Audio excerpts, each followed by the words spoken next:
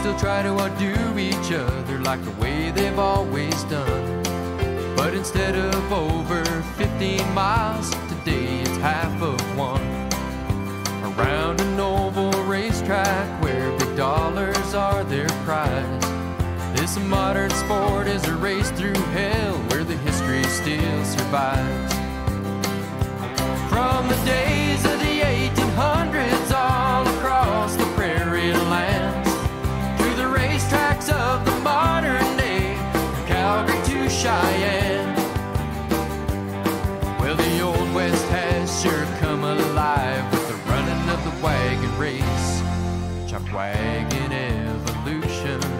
No one has worked with more wagon horses and watched more races than chuck wagon matriarch Iris Glass. She knows what it takes to make a wagon man. The first thing you have to love a horse and you have to know a horse. Be a good horseman. That is the first thing you have to be. And then you got to have lots of guts, if that's the word to say, and and uh, because it is a, a really rough sport, really. I guess it was late in '39 or something. He had a real bad accident. He upset his wagon and broke 16 bones in his body. My dad, so he quit then, and my brother took over Jack, and he drove till 1945, I think it was. And then I married Ronnie, and on he went for, he drove for 46 years. Then Tommy started, and he's drove for 28. Now I got Jason, he's on his third one. So into my fourth generation. For 70 years we've been going. The Glass Lauder connection to the chuck wagon goes back even further, back to the early ranching era and to Iris's grandfather, John Doc Lauder, who followed the range chuck wagon as a foreman of the huge Cochrane Ranch.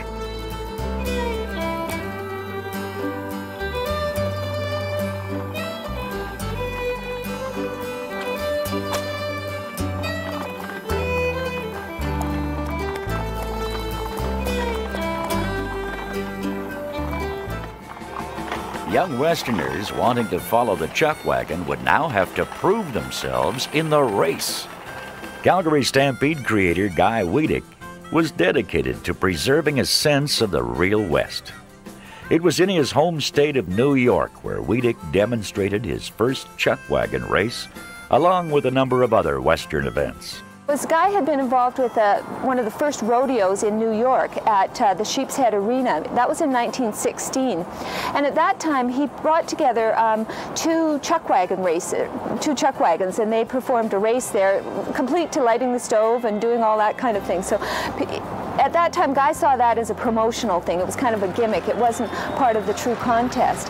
But he also saw the, the, how the crowd loved it and how excited they were to see these actual activities that cowboys were doing. In 1923, when Calgary organizers were looking for exciting new events for their new annual stampede, Weadick proposed a chuck wagon race. It was an idea that he was convinced was wonderful, but a lot of people weren't that convinced, particularly a lot of the ranchers who didn't want to use their perfectly good stock and, and, and uh, chuck wagons in something that was sounded a little, little harebrained. To test the driver's skill, each outfit was expected to make a figure eight turn around two barrels. Then the wagon and crew were to race around the track, return to their start position, unhook, and set up camp. The first outfit to raise smoke won the race. I think it was called a rangeland rumpus ruckus or something, some kind of um, alliterative name that really summed up what it was all about.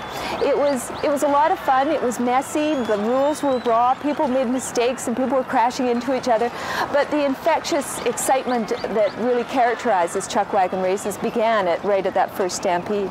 The 1923 races involved two heats of three wagons each. Each outfit was organized in a similar fashion to a range roundup crew. The winning wagon had outriders from various Mosquito Creek ranches, a driver from Streeters, and a wheel team supplied by Dan Riley, and a lead team from Cross's A7 Ranch. Guy Weadick hadn't made many rules, but Pirmez Creek rancher Clem Gardner, who had the first night's fastest run of 3 minutes and 15 seconds, was disqualified for facing his wagon in the wrong direction that small error cost Gardner the race and eventually the show. Mosquito Creek rep Dan Riley of High River collected the first ever chuck wagon trophy. a Stetson hat.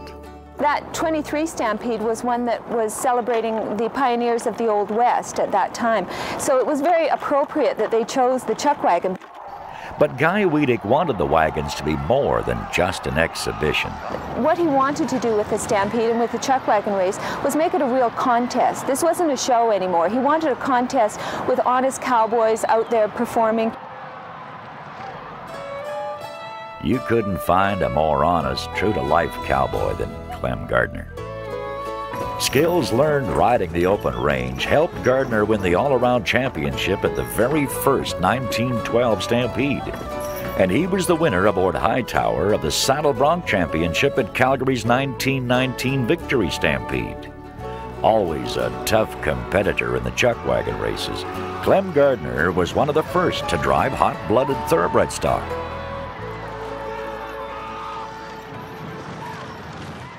Another man who had eaten many a meal off the back of a chuck wagon, Jack Morton, also competed in the first chuck wagon race. Morton was as rambunctious as the event itself. His favorite pets were a pair of badgers. Morton, alias Wild Horse Jack, was one of the biggest ranchers and farmers in Alberta and stories of Jack's wild escapades were only matched by those of his humanity and generosity.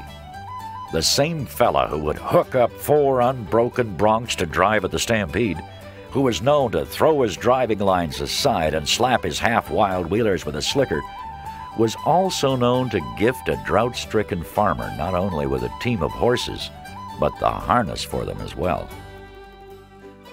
Morton's generosity went so far as to have his ranch cook, Horace Inkster, and the CX crew make breakfast for all and sundry in downtown Calgary during the 1923 Stampede, the first ever Stampede pancake breakfast. Early chuck wagon competitors were required to enter at least one other rodeo event. Jack Morton entered the Wild Horse Race and occasionally competed with another legend of chuck wagon racing, Tom Lauder.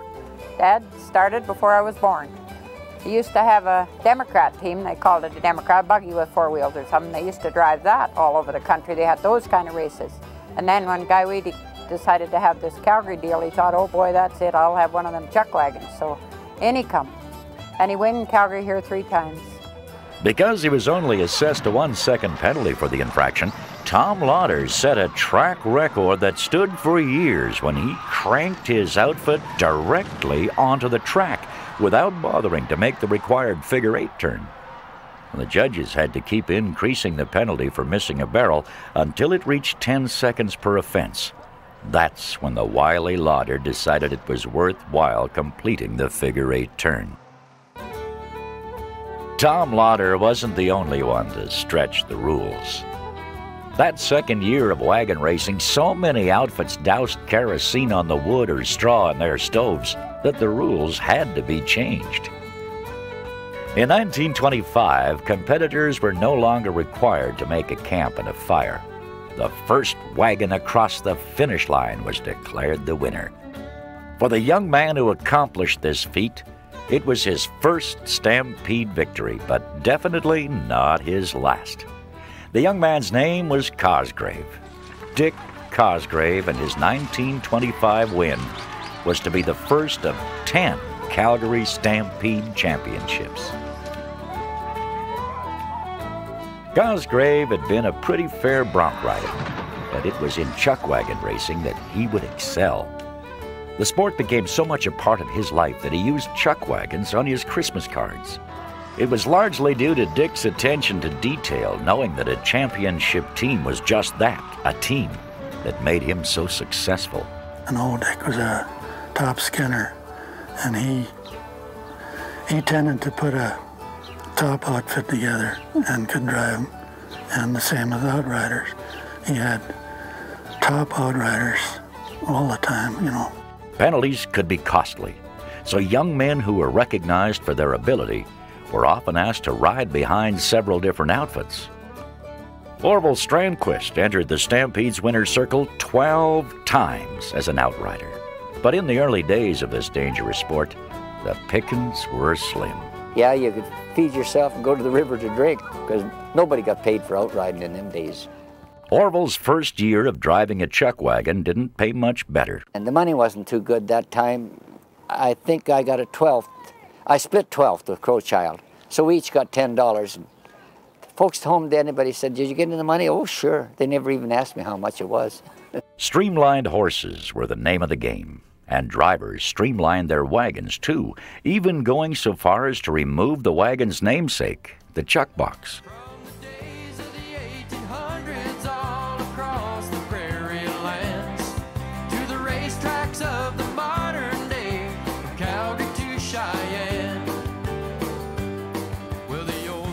The chuck wagon races have always been colorful but especially so after drivers and their outriders were required to wear matching colored shirts.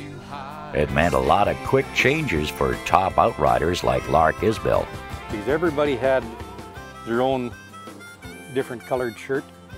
We'd put on about five shirts and then you'd rip them off as you come in off the track and about halfway through you'd have to jerk on some more shirts was put all nine shirts on was just a little bit bulky and a little bit too hot.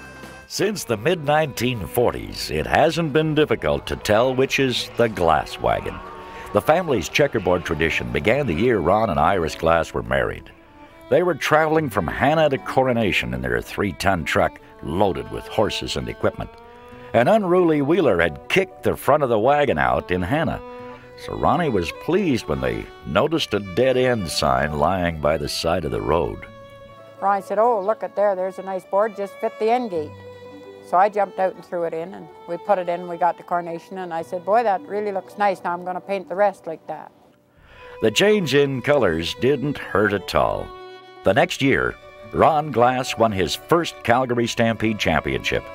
And when he won again in 1947 and 1949, Glass qualified as only the second driver after the legendary Dick Cosgrave to win the coveted Gas Company trophy.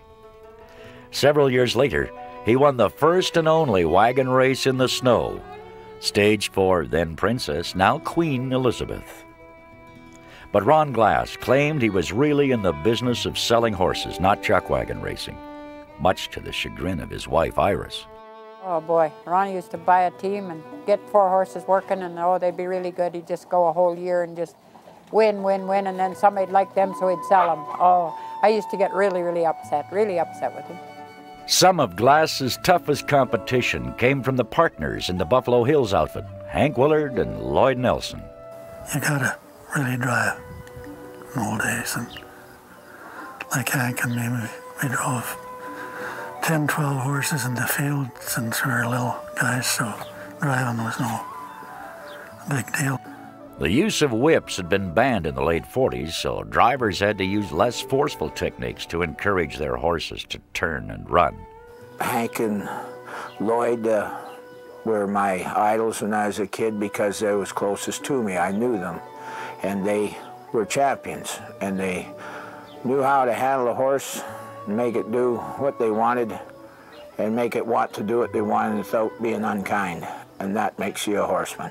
After their outfit was cut down in 1950, a devastated Nelson quit driving for a year and Hank Willard took over the lines.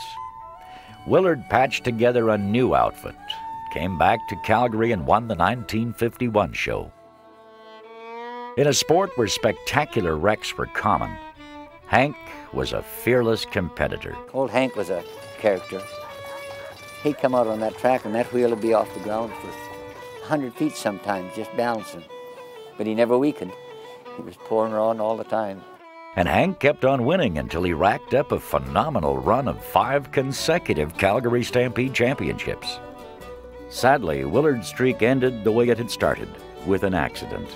Hank lost his great lead team, Skeeter and Vino Tinto, on the road in a trucking accident. He never married. He just uh, was in love with his horses. I see when he lost his horses, he cried like some people did if they lost some part of their family. It was appropriate that Willard's former partner, Lloyd Nelson, replace Hank on the winner's podium. Nelson would be the last man to win the Calgary Stampede driving under his own name without support from a sponsor. Ranch names and brands had been on the canvases since racing began, but actual sponsorship started in 1941 when the Buckhorn Guest Ranch paid Marvin Flett to carry their canvas. A fine horseman, Marvin came close but never did win the Stampede. But his brother Dale made up for it by training seven championship outfits. Dale Flett was a fierce competitor, even when riding a bronc with a wig for a movie camera. When I was driving wagon or riding race horses when I was a small kid, I always wanted to be first. Flett took calculated risks on the track, but left nothing to chance with his equipment, and especially with his horses. Lloyd Nelson will never forget the time he tried Dale's outfit. I've driven some real good outfits in my day, I think, but nothing like that outfit. They just, they just work like a machine, every one of them. Every horse is important, but a top outfit needs agile leaders up front to make a quick figure eight turn around the barrels and capture the inside rail position. Dallas Dorchester grew up watching his father Tom's superb lead team of Blondie and Big Shot. They're both 21 and 20 when they were done as on the chuck wagon, and uh, actually Blondie was a three-year-old when he started, so she had quite a life. Never had a blemish on her. Just a little horse, but she could turn and uh, he could beat anybody out of the barrels with him. Tom Dorchester believed that a race was won or lost in the first few seconds. Okay, we're set here for Heat 2. Brasso Datsun on 1, Crossroads 2, Eckwell on 3, Burnmouth Sales of Thorsby on 4. The stoves and tent poles are all in there. Look at Tommy Dorchester getting off the two barrel, but he's not going to grab the rail. That goes to Ron David in the Brasso outfit. Dorchester knew that a quick barrel turn often made the difference between being first or an also ran. Wagon racing was Tom's life. He loved it and so did his family. Two sons, Gary and Dallas, and his son in law, Dave Lewis, went on to be champions. Tom's boys and many others got their start with Cliff Claggett's traveling rodeo show. Pete Mullaney remembers one of Claggett's caravans. Nine trucks going down the road, and the front one had a license plate on it. We traveled all down through the Maritimes, down through Toronto and Boston, down through that country with only one license plate. Traveling with Cliff Claggett exposed young men to the sport, but no amount of desire could replace the advantage of being born into a chuck wagon family. Once the kids grow up, they generally start out riding, and then they go on to driving, and uh, you know, it's it's uh, makes for a better competitor. The kids that have grown up in it. Richard Cosgrave's grandfather was the legendary Dick Cosgrave. His father, champion driver Bobby Cosgrave. The first race I ever drove was in Stettler. I was 14 and we went up there, it was a benefit deal and Dad had some outriding horses hooked together, so he was hooked with Tommy Dorchester and Bob Baird, I think it was, and uh, we pulled in the barrels and he said, do you want to drive? I said, sure. So he jumped out and Mom was in the grandstand, she went wild, but I was about 40 wagon lengths behind and ate a lot of dust. And Ron Glass decided to give Richard some barreling lessons. One of my first big outfits I drove for Ronnie out there practicing at his place. He said, get up there, kid, and drive him. So Tom, he got behind the seat and he was a little shaky. And Tom, or Ronnie used to set the barrels really tough and then have a fence right there so they had to turn. So I went up and I went by the top barrel, I don't know, about 60 feet. And on the way back, and I cranked the bottom, and Tom's going, don't turn him, don't turn him. And old Ronnie said the kid's going to make a wagon driver, because I did turn him, and we were going 9-0. Cosgrave, Glass, Willard, and Dorchester, each racing dynasty had a founder. And in 1969, a new dynasty began, a new era began, with the arrival of Kelly Sutherland and the record.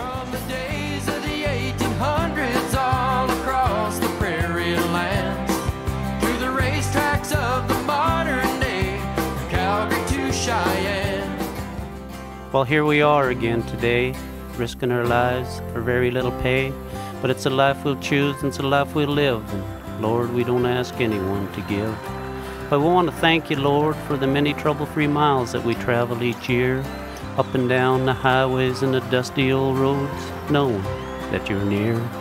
Now, we ain't always been straight or took a religious stand, But when we crawl up on the seat of that wagon and look back at the family, there's someone we truly believe in, and you're the man. And we turn them barrels and she lifts up on two. I sometimes hear little voice saying, Don't worry, son, I'm in here too. In the past, you've taken a few drivers, a few outriders, even the odd child or two. But really, Lord, no one has ever blamed you. So we don't ask that you take us to heaven or never run in stormy weather. But when it's all over and you gather since your mighty kingdom come, would you please keep us all together?